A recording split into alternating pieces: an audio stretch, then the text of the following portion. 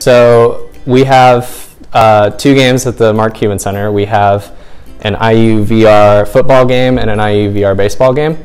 Um, the game that we showed you is the IU VR football game, and in that you can either be a quarterback throwing passes uh, at targets or cardboard cutouts of receivers and defenders and you're just trying to score as many points as possible. So we use the HTC Vive, which is a piece of virtual reality equipment. It comes with uh, infrared sensors that can detect where you're moving around in uh, real space and translate that into the video game.